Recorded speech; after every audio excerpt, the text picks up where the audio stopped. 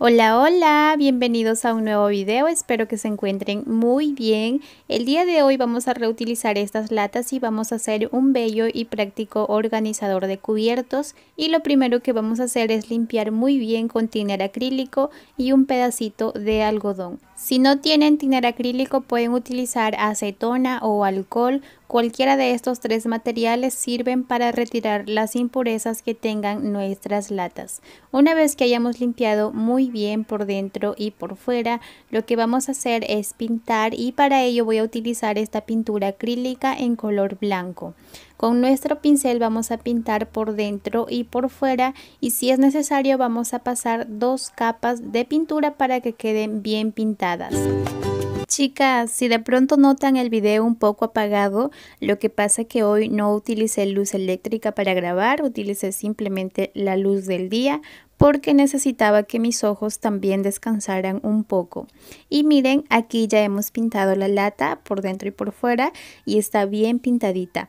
Por aquí tengo dos más porque en total vamos a estar utilizando tres de estas latas.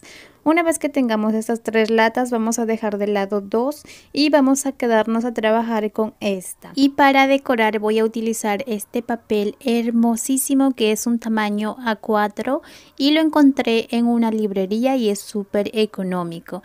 Así que lo primero que vamos a hacer es tomar la medida de la altura de nuestra lata y esta medida lo vamos a recortar en el papel. Aquí ya tengo recortado. Una vez que hacemos este paso vamos a pasar a pegar sobre el contorno de nuestra lata. Y para el pegado vamos a utilizar pegamento blanco o cola sintética pero que sea puro, es decir, no lo vayan a mezclar con agua, ya que si lo mezclan, este va a humedecer mucho al papel y pues vamos a terminar dañando. Así que vamos a ir cubriendo de esta forma.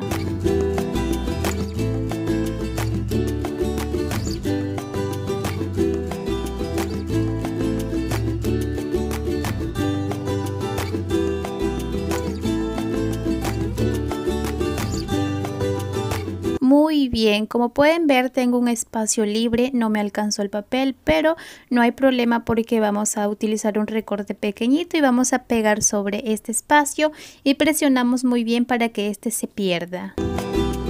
Y de la misma forma vamos a forrar las dos latas restantes y así nos van a quedar las tres con un mismo diseño.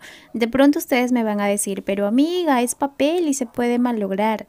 Ok, pues para eso vamos a barnizar, vamos a utilizar barniz acrílico y lo vamos a pasar sobre las tres latas por dentro y por fuera. Vamos a utilizar una brochita y lo vamos a pasar en una misma dirección. Vamos a pasar una capa, dejamos secar y pasamos dos capas más para que este quede bien protegido. Aquí ya tenemos las tres latas barnizadas por dentro y por fuera y ahora yo tenía en mente seguir decorando el borde superior y así es como se hubiese visto. Pero yo decidí que lo voy a dejar así nada más con la decoración del papel. Vamos a colocar ahora en este orden y así como ven yo recorté el modelo en una madera yo lo mandé a recortar, pero este paso es opcional. Si ustedes tienen esta madera, lo pueden mandar a recortar. Ahora yo le voy a agregar unas patitas en color dorado para dar más firmeza. Si no tienen madera, también lo podrían hacer de cartón y luego lo barnizan para que este no se vaya a malograr. Yo le estoy dejando la madera en su color natural porque me gusta que se vea como con un estilo rústico moderno y ahora vamos a colocar las latas en este orden. Utilizaré esta cinta con estilo rústico y vamos a sujetar las tres latas de esta forma tomando la mitad. Voy a pegar con silicón caliente para que quede más seguro. Y como les vuelvo a repetir, esta idea les comparto, pero ustedes lo pueden mejorar y decorar con los colores que más les guste.